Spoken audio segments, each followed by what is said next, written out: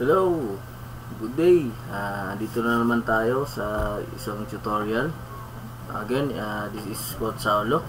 Ah, gagawa na naman tayo ng isang tutorial about pre-site. Ah, ang tutorial natin ngayon is about Canva pre-site na paano ba gumawa ng account, paano mag-sign up para makagawa ng account sa Canva. Canva is a pre-site uh, software or pre-site na pwede nyong gawing mag-edit or gumawa kayo ng mga banner or mag-customize na mga gusto nyo i-customize na mga picture or banner slogan poster etc. mostly dito ako gumagawa ng mga uh, editing na mga pictures kasi maganda yung quality ng ng picture niya once na dinownload mo. Uh, itong tutorial na ito pwede makatulong sa mga kailangan natin ng mga aspiring entrepreneur o nag-start pa lang or gusto malaman kung paano gumamit ng Canva kasi pre-site lang naman ito, walang bayad. Pwede siyang pro, pwede siyang free. Uh, it's up to you naman kung gusto maging i-pro siya means yung magbabayad ka ng site means fully functional siya yung magagamit mo yung mga features niya sa Canva. Okay? Again start na tayo. So para makagawa tayo ng account sa Canva uh, first things first is pwede mo i-click tong sign up with email. Pwede mo rin i-click tong sign up, sign up. Kasi pag click mo rin ito uh, dito ka rin dadalhin niya. So i-click yung sign up with email. Actually kanina nakagawa na ako ng email uh, nakagawa na ako ng account sa Canva. So sample lang natin lagyan natin pangalan dyan email uh, password.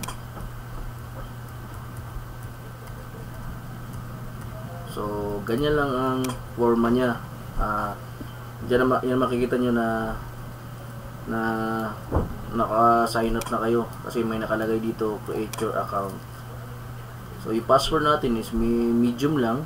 Pwede naman yung ibahin or gawing strong.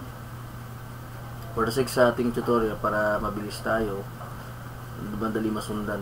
So once naka-sign up ka na dito uh, i-click mo lang yung get started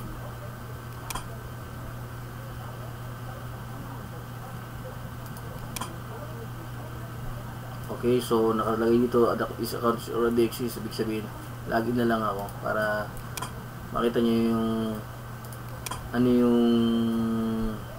loob ng Canva. So, ito yung makikita niyo sa loob ng Canva. Uh, maraming option dito na makikita. Uh, tatalakayin din natin to in other video. So, ito nga yung sinasabi ko, yung Canva Pro. Kung gusto mo magbayad, click natin. So, meron siyang option na kung gusto mo mag-subscription. Kasi yung feature niya, iba. Uh, mas marami siyang magagawa. Compare sa free. Okay? X lang muna natin. So, once you scroll mo yan, uh, andito yung mga option niya kung ano yung pwede mong gusto mong gawing editing. Uh, presentation ba posters logos uh, Facebook post infographics Instagram post. Meron ding animated social media brochure ito maganda to uh, pag nagawa niyo itong animated social media.